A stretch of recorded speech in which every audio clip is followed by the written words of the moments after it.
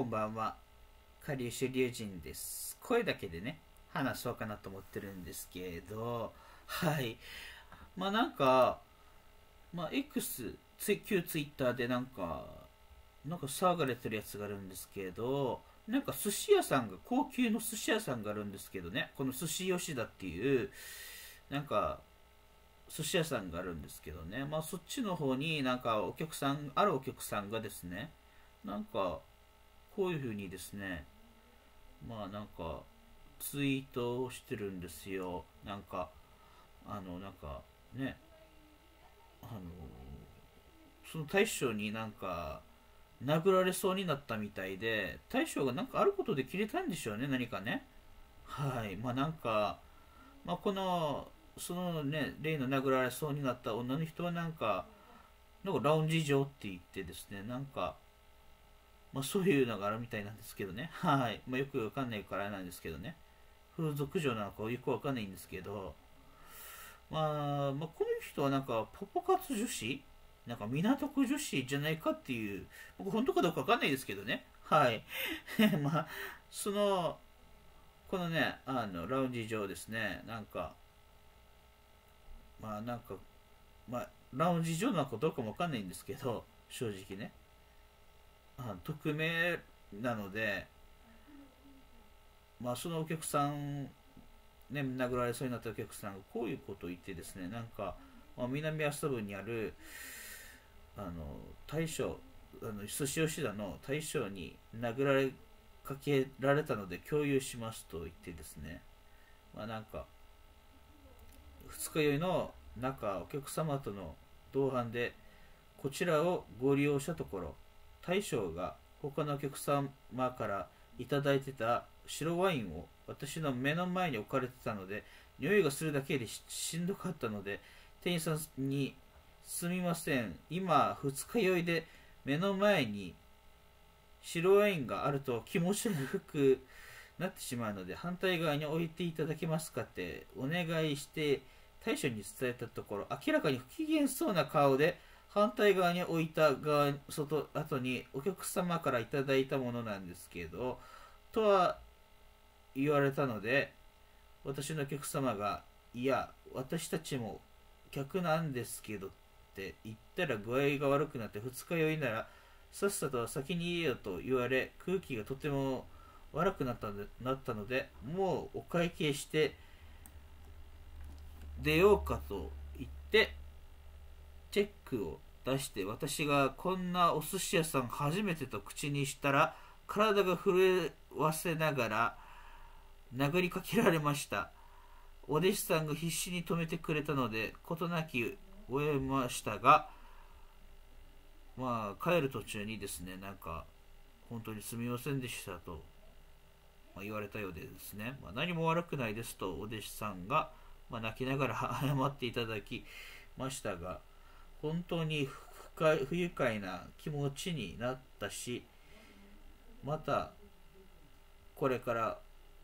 行われる行かれる方はに同じ嫌な思いにあってほしくないので情報を共有しておきますと言って、まあ、グなんか Google の口コミを見たらなんか分かる通り対象の人柄が最悪でしたと言ってですね、まあ、なんですけどこの女の人はなんか嘘をついてるんじゃないかと言われててですね。はい、まあ、そういうことなんですけど。まあそういうことなんですけどね。なんかある証言なんですかね。なんかあれ？まあまあなんか消されてるっぽいからあれなんですけどね。はい。あのあまああれなんですけどね。なんかこの本当はなんかどうやらなんかそのこの女の人はなんか、まあ、女の人の同伴の人が撮ったのかもしれないんですけど、まあ、無許可で撮影していたみたいでまあなんかそういうことがありましてあとはなんか二日酔いだからと言い訳にして、まあ、身勝手な行動を他のお客様にお客さんに注意されてたようでまあなんか下等生物と言われたみたいで、まあ何か、そしてですね、なんか、まあ他のお客さんを煽ったりして、まあ、迷惑のことをしたんでしょうね。まあ、他の客客にまで迷惑をかけたことで、対してですね、大将が切れたみたいで、まあ、嘘を混ぜて弟子の顔を隠さず、ね、もう X にね、投稿されたんですけどね。まあ、そういうことなんですけどね、まあ、まあなんか、このあるね、あの、ラウンジ上はですね、なんか同じ時間帯に食事をしていたお客さんが、の証言ではですね、まあ、あの、なんかラウンジ上はですね、なんか前方にワインが入っていると分かるなんか木の箱があってそこの方に置かれておいたんですけどなんかそれに対してラウンジ上はですね同伴の男性の方へ愚痴をこぼしていたみたいでですね二日酔いなのにこんなお酒飲みたくない匂いもしんどいと僕にもなんか聞こえたそのお客さんはですね、まあ、聞こえたみたいでまあ、それで大将にも聞こえて、なんかその愚痴がなんか2、3分も続いて、なんか、ランジ場、このランジ場さんはですね、なんか大将に対して、なんかワインを、なんか、あの、なんて言えばいいのかな？これはもう出さないようにみたいな、なんですか、どかすように要求して、なんかその大将は、まあ残念そうな顔をしてですね、まあ、ワインをどかしたみたいで、まあ、そしたらなんか、その態度に対してなんかランジ上は、なんか今日悪くしたのかですね、愚痴が、また愚痴を言って、なんか、なぜかですね、怖い怖いと言ったり、大げさになんか被害者ずらしたみたいで はい、それでなんか、そのよそのところをですね、もう他の常連客もですね、あ本当にあの不愉快な思いをしていたみたいでですね。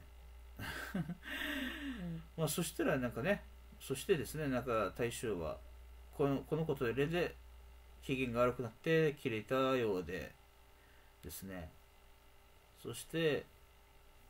まあ、殴ろう、殴りそうだったんですけど、殴られないように